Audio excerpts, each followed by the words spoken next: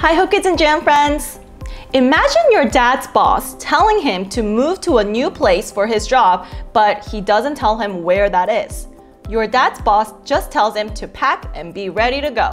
What would you think? To move like that would take great faith or trust in that boss.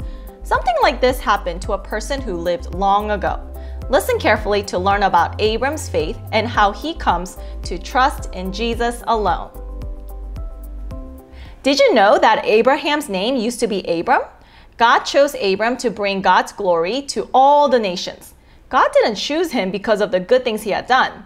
In fact, Abram lived in a place where people didn't love or follow the one true God. They worshipped statues and fake gods. They trusted these false idols to save them. One day, God told Abram to leave his country and his father's house to go to a new land that God would show him. God did not even tell him where he would be going. He must have felt confused and scared to leave his home and comfort. It would take great faith in God for Abram to follow him to this new land. With this instruction, God also promised amazing things to Abram. God would make Abram's name well known throughout the world because through Abram, the world would see God's goodness and love. God even promised that Abram would have a lot of land and children. Remember, name, land, and children. All these things seemed impossible for Abram to believe. Abram didn't have any land and he wasn't anyone important. Also, Abram was old and didn't have any children. How was God going to do all these things? Why did God promise him all this? Abram had done nothing to deserve these things. God chose Abram and made these promises to him because God was going to bless all the families of the world then now, and even in the future through Abram. That was God's plan. All people would know how great and awesome God is. But how was God going to do this? How would God's plan show his glory to people from all nations? Even Abram did not know the details of God's plan. Abram did not know where to go, but God knew. Remember, God knows everything the past, the present, and the future. Remember that word? He is omniscient, all knowing. Abram trusted the one who knows everything.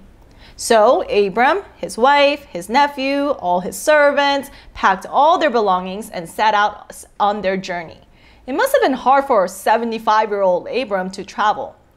On the journey, they would also need things to cook with, their clothes and food for the people and their animals and livestock. Abram could have doubted God's plan for him, but he didn't. He had faith in God's promises and trusted that God knew what was best for him. Remember, God had promised Abram he would be great. God would give him land and would make Abram's family a great blessing to all the nations of the world. Well, today we know what that means. From Abram and Sarai came the 12 tribes of Israel, and finally, Jesus, the Savior of the world. Abram's children had children, and they had children. Do you know that song? Father Abraham had many sons, and many sons had Father Abraham. I am one of them, and so are you. So let's just praise the Lord. That song comes from this story. Thousands of years later, Jesus was born through Abram's family. We can be thankful for the faith that Abram had. In faith, Abram and his family journeyed until finally they came to the land of Canaan. In Canaan, the Lord appeared to Abram again and told him this would be the land given to Abram's family. So in that place, Abram built an altar to the Lord, praising God. When you have faith in Jesus as your Savior, you become a part of the blessing promised to Abram thousands of years ago. When Abram put his faith in God, it was counted as righteousness. He was declared right with God. Will you believe on Jesus so you can be made right with God?